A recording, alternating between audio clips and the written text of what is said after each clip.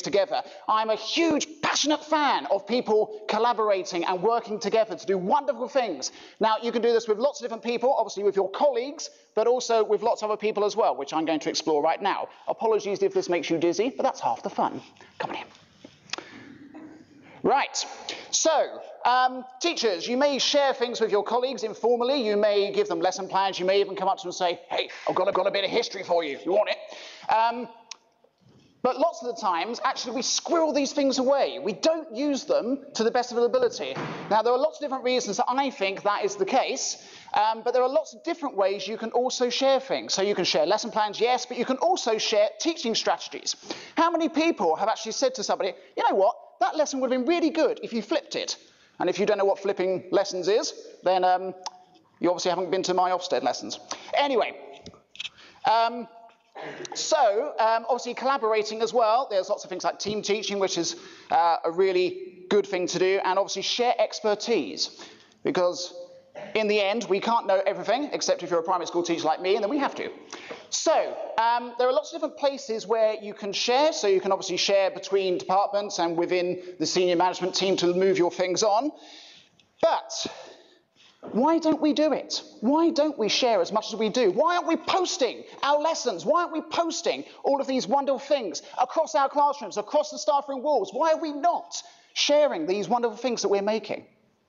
Now, it could be the fact that we're being modest and saying, well, who's going to want this? I mean, it's only taken me five hours of my weekend to prepare. Um, but why are we not sharing these things? Do we think that the fact that we don't, don't have time to share these things is it a fact that we are not able to do that sort of thing and to um, give the time over to be able to share these things to the wider community? Is it possibly the fact that we're going to use all of these wonderful resources to eventually write our bestseller and get out of teaching, perhaps? That's my plan, at least. Right, anyway, and um, obviously you can share not just with colleagues, but also with the children in your class. Now, Digital Leaders, if you haven't heard of them, are a collection of children who are trained up, they are experts in the field of ICT, and they go in and troubleshoot for teachers. It's a proper job in the school. It's not just a club, it's not just um, a little lunchtime club, it's a responsibility and something which they cherish in the school. Now, my digital leaders do all sorts of things. They've also they've, uh, attended staff meetings to help teachers get trained up on various bits and pieces. So we've um, in the last 18 months, um, started to use uh, a new learning platform, which is based on, uh, on Google Apps. And the children are vastly ahead of all the members of staff in the school, including myself. So we use that expertise to the best of our ability. Right.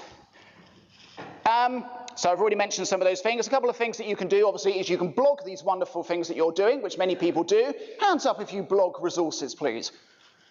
well, hopefully after tonight you're going to change all of that. I know. And there's some wonderful people in here that are going to be talking about their blogs.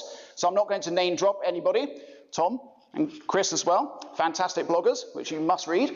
Um, but of course, there's Teach Meets as well. But there's something I've forgotten.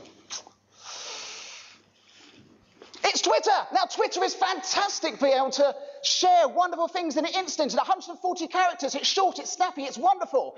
Why are we not doing this? Why are we not saying, I found this wonderful idea? Try it to the entire world. Now, we have some, again, prolific, blogger, uh, prolific um, tweeters in here. And if you're not on Twitter, it is the most fantastic, easy resource for you to share and to get ideas, just for the asking. Have you got um, a history resource about the Vikings, about their longboats at three o'clock in the morning, and bang, it's there just for the asking. It's a wonderful resource. Get onto it. It's fantastic. Right. Um, also, if you like the TeachMeet format, um, if you don't know of uh, UK EdChat on Twitter, uh, I am a uh, co-administrator on that chat, and we are running a TeachMeet style um, online um, presentation in a week's time, uh, next Thursday, in fact. So if you like listening to Fantastic CPD, get along to it. It's all online, it's all videos, and it's fantastic. If you want to hear more, then my details are over there later on. Right, two minutes. You're actually timing me. Oh, I thought I got away with that as well. Right, just a few people that you might want to follow. So those are a few names, so some serious name drops, and there are several people in here uh, which you can um, follow who are fantastic. They share wonderful things just, um, just because they want to, just because they want to share their passion for teaching and education and raising the standards with millions of people. Right, a couple of things that you can do in your class to collaborate both with the children and with the um, with your colleagues as well. This particular resource is one that I found back in December. It's called Real-Time Board. You can probably guess what it does. It's a real-time board. Um, basically, anybody can go onto this site, up to 100 people, and you can actually collaborate, draw on your whiteboard, and somebody else sees it pop up on their screen at the same time. But better than that, they can draw on it as well. They can add videos to it as well. They can put links onto it as well. They can put photos on it as well. It's a wonderful resource. Use it. It's fantastic. My class love it. They do their homework on it. Wonderful. Really? Fine. Right, this one. This is a website where you can make collaborative videos in real time. Again, it's all online.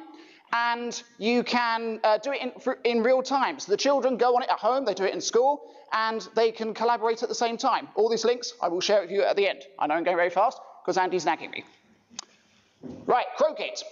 This is a audio um, website. So you can record up to 30 seconds of audio on it. It's completely free, doesn't require a sign in and you can share the link with whoever you want to. For some reason, my class have used it for French quite a bit. I think there's a link there somewhere.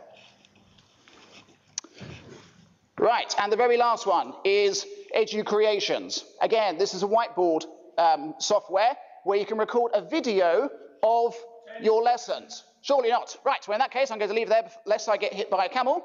There's another one for you, but I really don't want to get hit by a camel. Right, that is me. I'm out of here.